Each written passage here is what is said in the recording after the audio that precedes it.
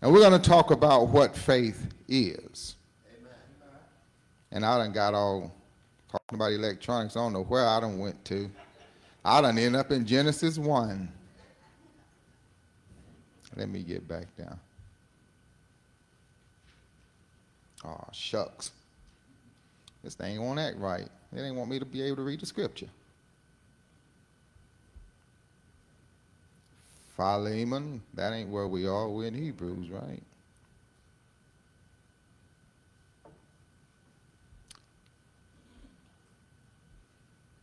Well, you know what? I'm just not going to worry about the scripture. Y'all got it up there.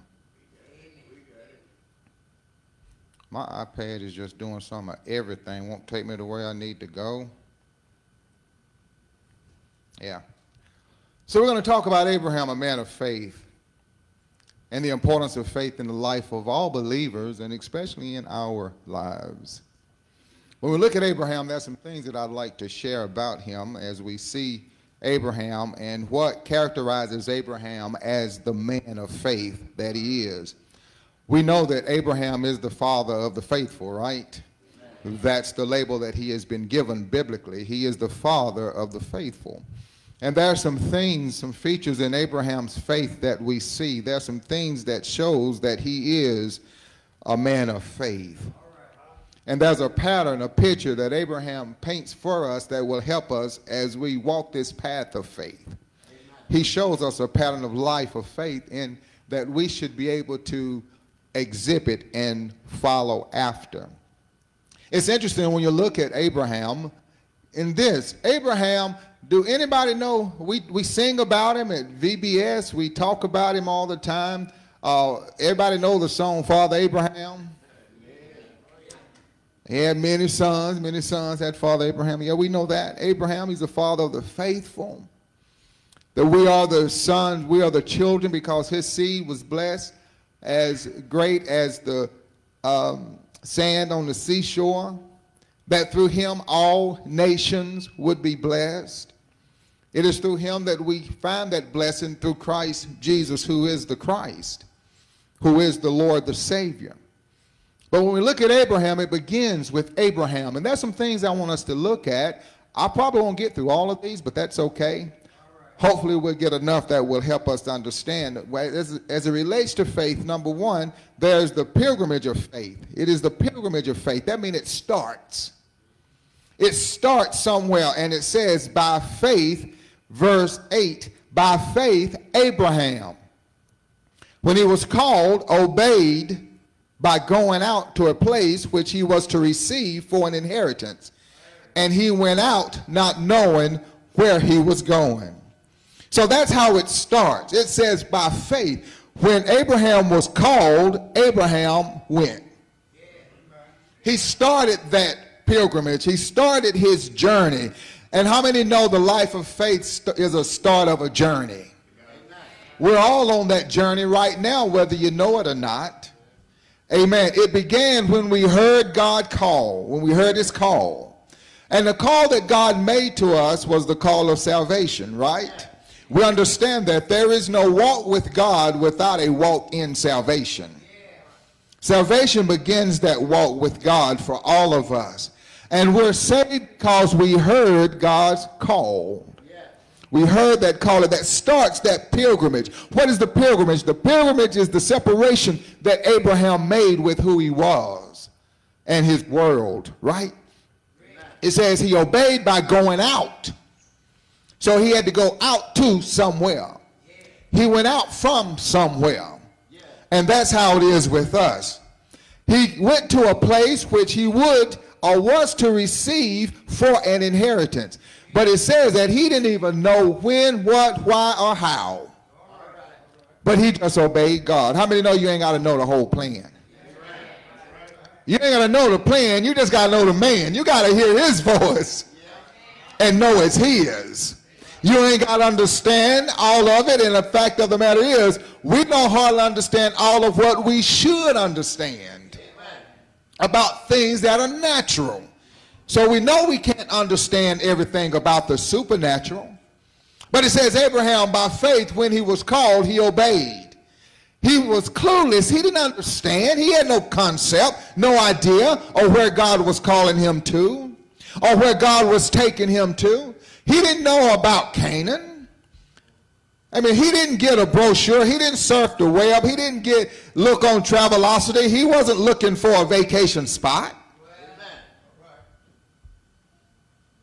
He didn't have a map to see what it was like and how to get there. What was the terrain going to consist of? How was the area going to be? What? No, he didn't have any of that. As a matter of fact, he was clueless. But he did hear God's call. He didn't understand it, but he heard it. He didn't understand it, and that's what faith is. You don't have to understand it. Faith says, I might not understand it, but God, I hear you. I don't know why. I don't know how. I don't know what. I don't know why. All I know is who. Amen. That's where it starts. Abraham was a lot like us. He was a pagan. You know what that is, right? Abraham was not a child of God when God called him. Abraham was not one that was seeking God when God called him. Amen. You do know that, right? Abraham was not looking for God when God called him. No, no. Abraham was a pagan. Not only was he a pagan, but he was, uh, uh, his father was Terah and Terah was a follower of many gods. So Abraham grew up not in a monotheistic, but a polytheistic religion, uh, a place of religion. In other words, where Abram was, Abram before Abraham, where Abram was, was a place that worshiped many gods. But they did not worship the true God. You know, a lot of people worship many gods. I heard you this morning, Martin, talking about the different things. Those are very small gods that people worship. Very small. But Abraham did not, Abraham did not worship the true God. But he worshiped many gods. He was a pagan. Land of Ur of the Chaldees. He was there. That's where he was living. That's where his family lived. He came out of uh, paganism. That's where he uh, existed. That was his culture. That was his mindset. That was his life. Amen. He was living his life. And God called him. He was not seeking God. It never says that Abraham was seeking after God. And that's why I want to tell you, Christians, get off the high horse because you think you're all that and God needed you. No, he didn't. You needed God. You know, God, he didn't see in Abram anything but paganism. He came from Shem, the line of Shem. Uh, Abram is from the people that was separated at the Tower of Babel. He was from that people that was confused because they came from a line that tried to exalt themselves and, and, and, and, and build a, a, a, ladder to God and become like God, and God confused them. That's where he comes out of.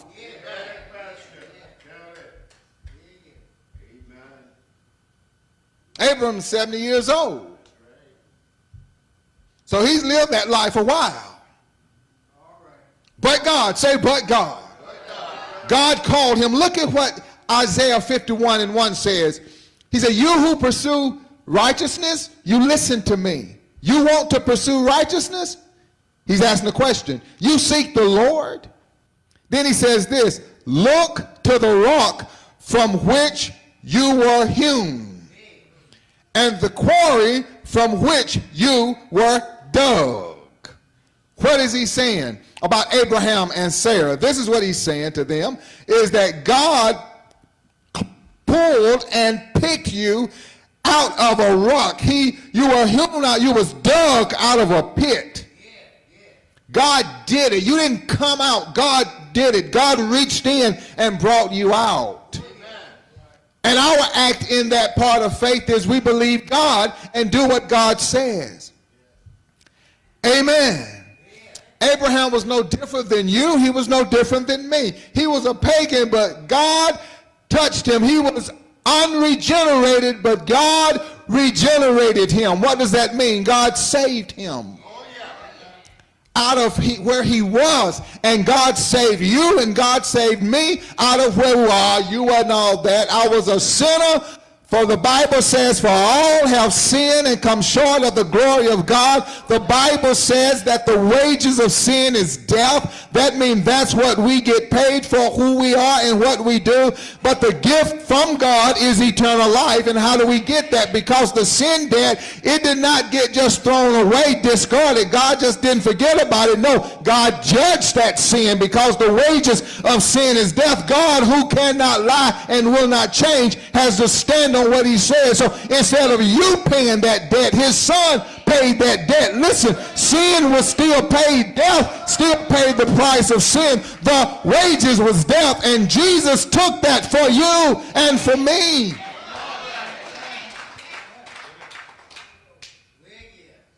God didn't change his mind when he said the wages of sin is death. He didn't change that. God does not change. Amen. That was a praise place, but I'll take three little hand claps that we got for that. But I don't know about you, but I thank God for looking past my fault and meeting my need. I thank God that while I was a sinner, he looked down and he looked past my fault. I thank God that he touched me when I was running wide open on my way to hell where I deserve to be. But God touched me and he grabbed me and he rescued me. That's why the old saints in their prayer say, he lifted me, he picked me up out of a horrible pit out of the miry clay because I couldn't get out. But God, he lifted me.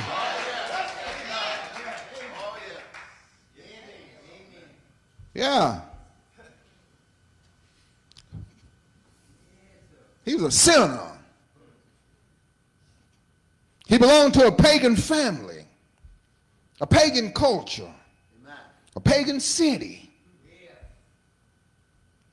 Lived there a while and got acclimated to it at 70. You, you pretty comfortable in your surroundings when you're 70. I, I imagine ain't there yet, but I imagine you, you probably comfortable in your situation because I ain't there yet, but I was comfortable in my situation at 25. But we see the grace of God. In Abram, the father of the faithful, we see the grace of God because God did not pick him because he was great. God did not pick him because he was good. God did not pick him because he was moral. God picked him because he wanted to.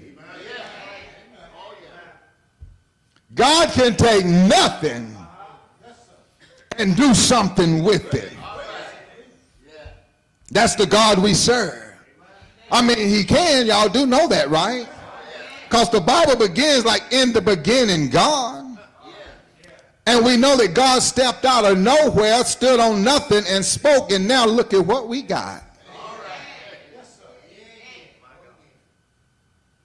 God took dust. Not even, it didn't say he took the dirt. Dust. And I wonder if that's intentional because you can't even buy dust. Ain't no price tag on dust. You ride down the road, you see dirt for sale. Anybody ever seen a sign that said dust for sale? I'm just asking. You might have been places I hadn't been, seen things I haven't seen. But I've never seen a sign that said dust for sale. You, Martin? I know you go a lot of places. You ain't seen it. Anybody? But God took the dust and look at what he did. Look at what God can do with dust.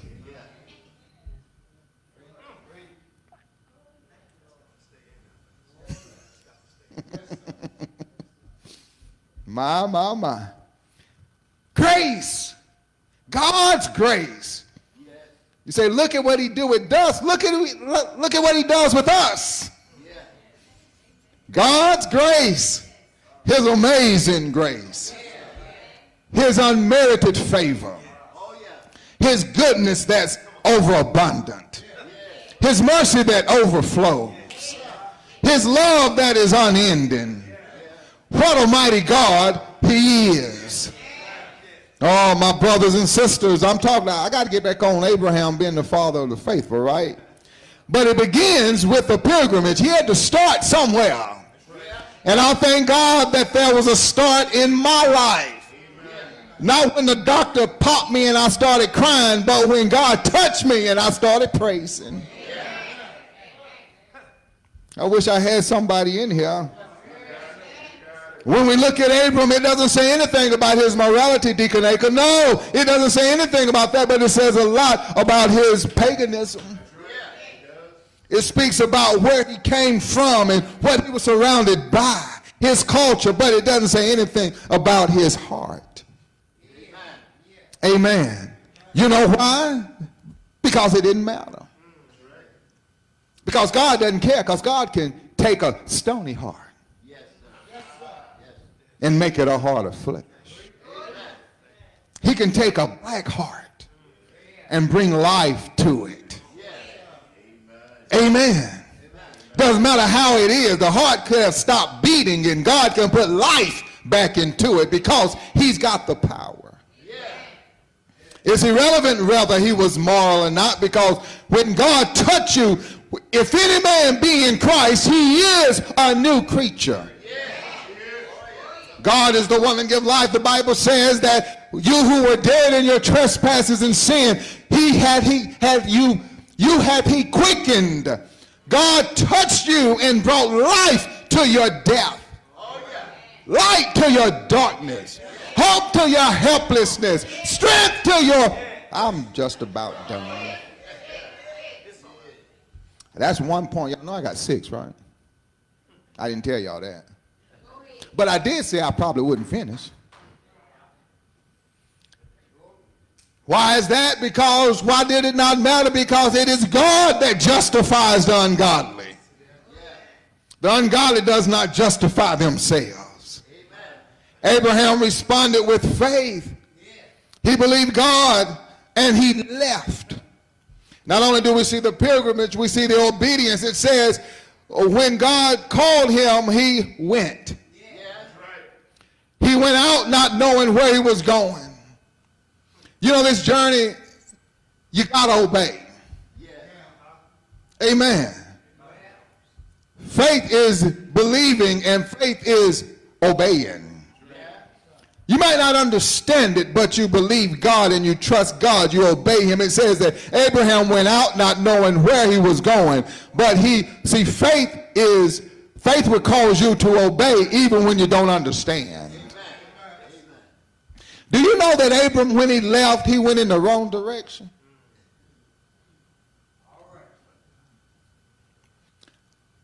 Yeah. He went in the wrong direction. He went opposite of where the promise was. He didn't do it intentionally. See, he might not have been walking in the right direction, but he was walking in obedience because when God said go, he went. But see the thing about it, sometimes in following God, you make the wrong the you make a wrong turn, right? But you're not making a wrong turn intentionally.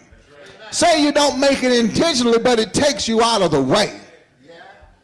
And if you're going the wrong way, it's taking you out of the way, and it's going to take you longer to get to where you're supposed to be, right? Anybody ever made a wrong turn? Yeah. I, mean, I can write a book on that one. He went to a place called Haran. Haran was five uh, miles away from in the wrong direction of where he was supposed to go. And it says that he, not five miles, but it took him, he was there for five years. He was there five years, not five miles. He was there five years in the wrong place. Can you imagine being in the wrong place when you're trying to go in the right place. It's not like, I see, unlike Jonah, Jonah went in the opposite direction on purpose. Because Jonah was running away from God's word. He was running away from God's call. But Abraham was walking towards God's call, but he ended up going in the wrong direction and spending time in that place. Can't you imagine the frustration of being in the wrong place and in the place that you know that you're not trying to go to? And then for some reason you're stuck there? Uh, no, you don't want to do that. Amen. But that's what happened with Abram. But the Bible tells us, even in verse 9 and 10 of that same chapter, by faith, he lived as an alien in the land of promise, in a foreign land dwelling in tents. For he was looking for a city which has foundations, whose architect and builder is God. By faith, he lived as an alien. That's point number three the patience. Faith is patient. You got to be patient. Now, Abraham, he ended up in the wrong place and he stayed there for five years. But guess what? He got to the right place. Amen. You know why he got to the, to the right place? Let me tell you why he got to the right place because he get he did not settle when he was in the wrong place. He got to the right place because he was patient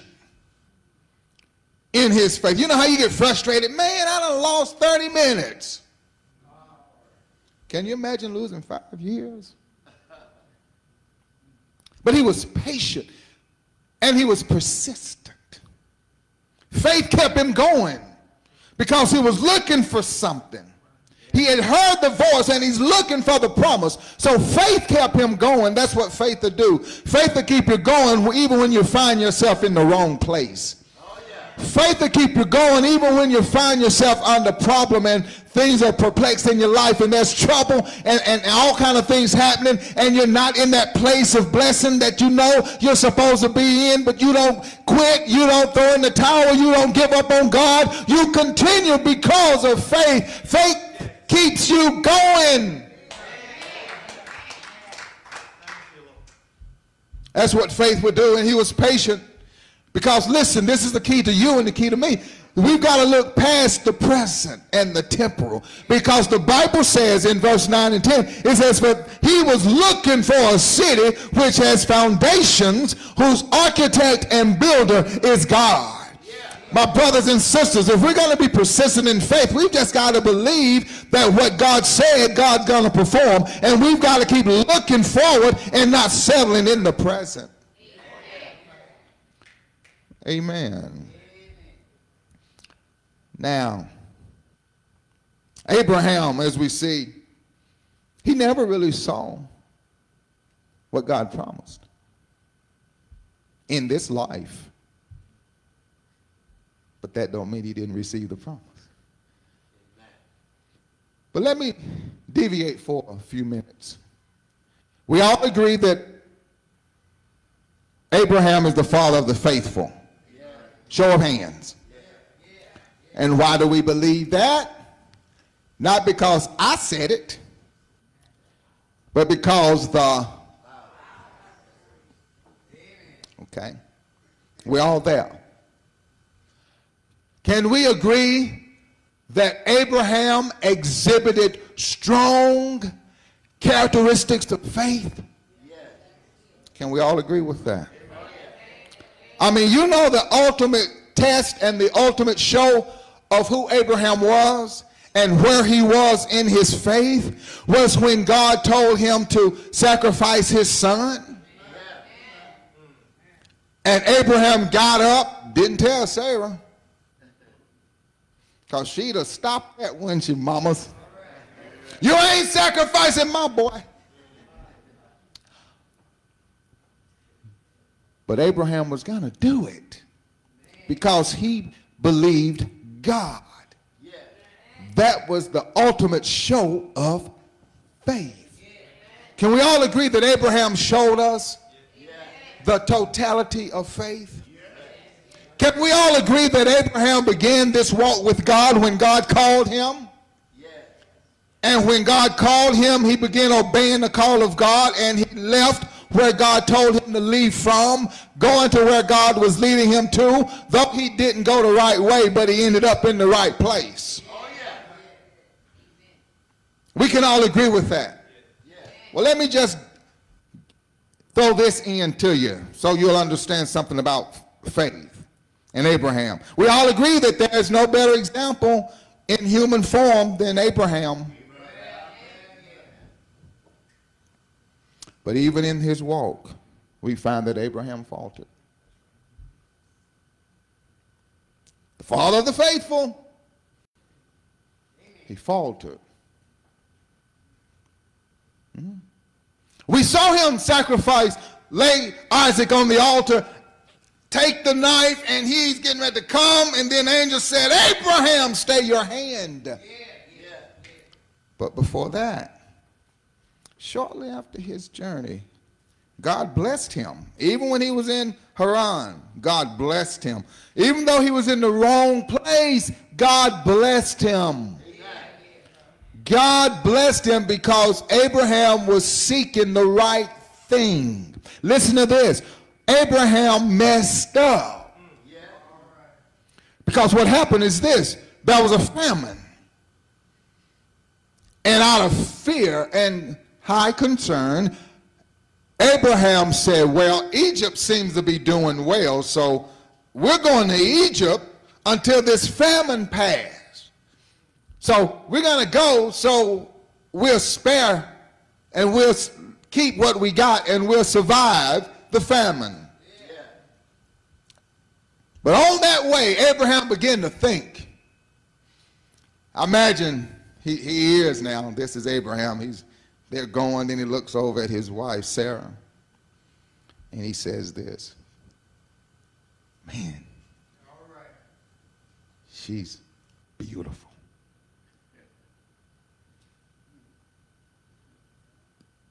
she's very attractive. I mean, she's. So Abraham said, Listen, Sarah, when we get there, we're going to tell Pharaoh that you're my sister and not my wife. Listen to what he said. Because I know as beautiful as you are, that he's going to want you. And what he'll do, he'll kill me and take you. So what you need to do is telling him you're my sister so he'll favor me and save me.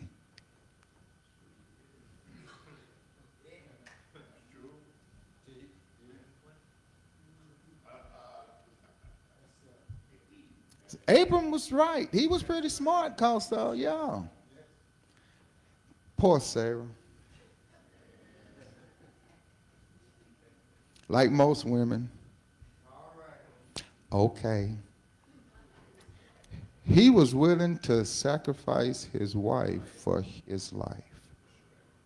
And that's not the way God called it. He was supposed to sacrifice his life for his wife's life.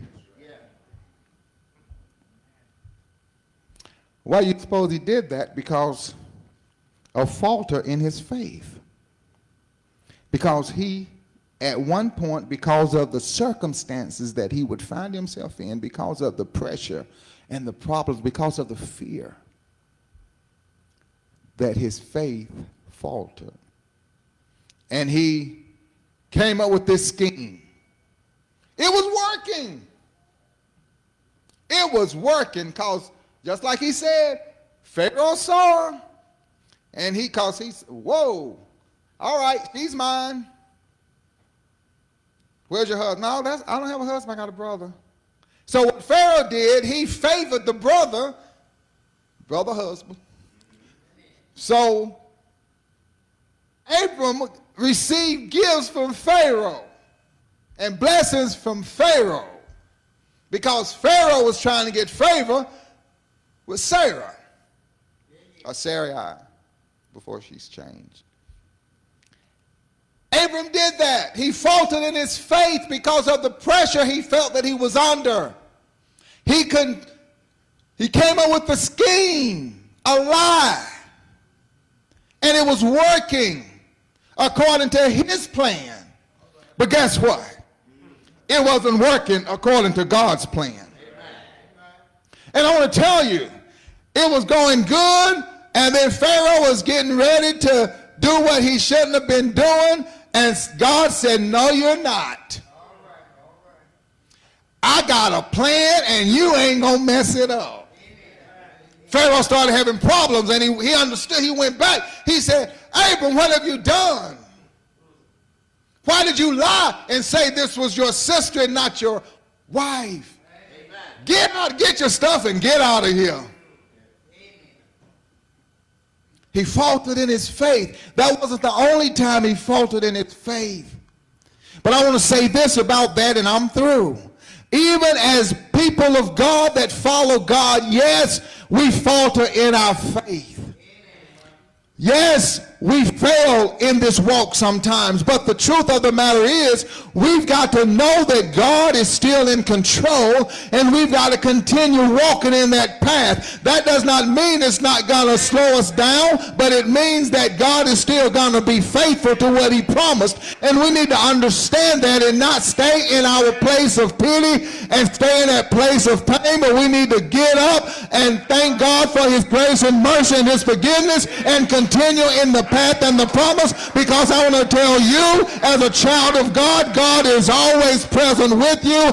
Don't worry about the dangers you might find yourself in. And I know it's hard. I'm just saying that, but we do that anyway. But the fact is you're never alone because God is always present with his people. And I know I got some witnesses in here. Not only is God always present, but God will provide. You don't have to look to man to make provision. You don't have to try to figure out schemes with man. You don't have to lie and, and, and scheme and steal and kill. You don't have to do all that. You just need to know that God will provide.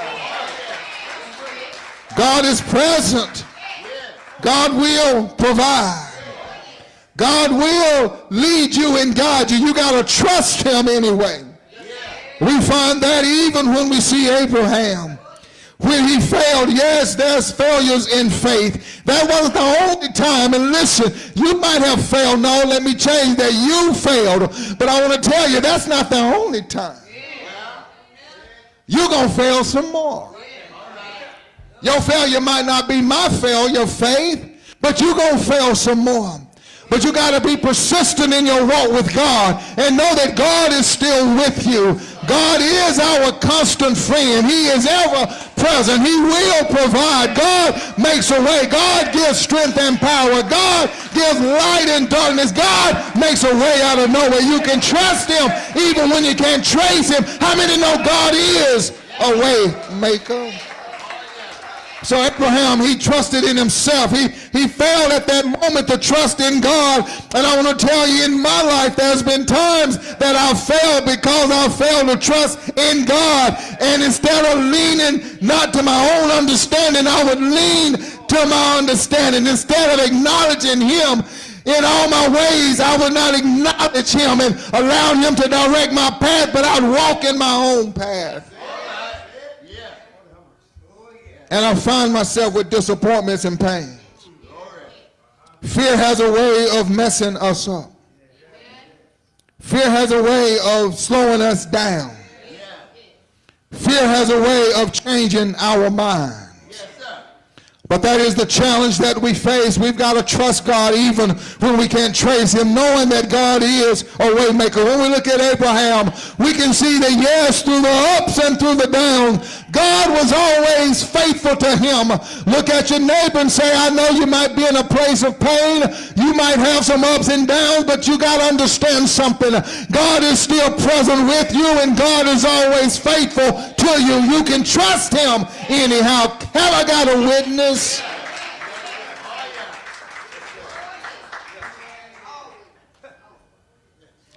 It's ebb and flow, it's ups and downs, but you keep moving. Somebody said, I'm moving mighty slow. But I thank God I'm moving though. I might not be running wide open, but I'm moving. If I can't run, I'm going to walk. If I can't walk, I'm going to crawl. But one thing I'm going to do, I'm going to keep moving. I'm going to be persistent because I'm going to keep my eyes toward the prize. I know that one day it's going to come in my life. In this life, you're going to have ups and downs. In this life, you're going to have victories, but you're going to also have defeats. In this life, you're going to be able to shout, but in this life, you're going to have some tears to shed. In this life, you're going to be on the mountain, but every once in a while, you're going to be down in the valley. Every day is not going to be sunny, but you got to know that God is with you every day. He is, Deacon Whitfield, the same yesterday, today, and tomorrow. Well, when I look at Abraham, I can say, yes, I can see God in his life. When I look at Abraham, I can see that he is the father of the faithful. But I'm encouraged when I look at Abraham because I also see that he faltered every once in a while and he fell down. And every once in a while we all fall down. Have I got a witness here? But I'm glad to tell you that as a child of God, if we fall down, we can get up again. Have I got a witness? Uh, And I know sometimes uh, you may fall down and you don't feel as if you can get up. Uh, but I stop by to tell you your faith has to be in something more than your own ability. You've got to understand that when you can't, uh, the God we serve can. Have I got a witness? Uh, faith says uh, that God can do what no other can do. I'm reminded now uh, of that in the life of Abraham. Uh, the Bible says uh, he was past, his wife Sarah was past the age of childbearing. And the truth is Abraham uh, wasn't all that interested uh, himself. But God through faith gave him the power uh, to be able to do what needed to be done. By faith, God gave him power to do what no man could do uh, because it was dead. Yes, it was dead, but God gave life um, to that dead situation. Uh, you know what I'm talking about, don't you? Um, he's able um, to do something uh, in your dead situation. Um, you've got to learn uh, to trust him. Uh, you've got to know he's able uh, the question is, um, is anything too hard for God? Um, the answer is there's nothing too hard for God. Have I got a witness? I know sometimes you feel that the mountain's I know sometimes you feel that the valley's too low. I know sometimes you feel that the pain's too intense. I know sometimes it seems like the situation is hopeless. But the God we serve, he's able. He's able. He's able. Do you know he's able? He's able to do what no other can do. Faith says, I'm going to trust uh, in God. Trouble come and trouble go. I'm going to trust uh, in God in the nighttime, in the daytime. I'm going to trust uh, in God. Uh, sun shining, storm raging. I'm going to trust uh, in God. In sickness, in health, I'm going to trust in God. I know he's able. He's sovereign in his power. He's awesome in his service. He's a great God with all power in his hand. what he do, uh, no other can. He's able to lead me uh, where he wants me to go. Uh, take me where he wants me to be. Satan cannot deride it. The enemy cannot snatch it. Problems cannot destroy it. God is in control. He's sovereign. I don't like it, but I believe that all things work together for the good of them that love him. Have I got a witness? I'm crying inside, but I'm shouting on the outside because something on the inside began moving on the outside. I wish I had somebody that would catch on fire. He's a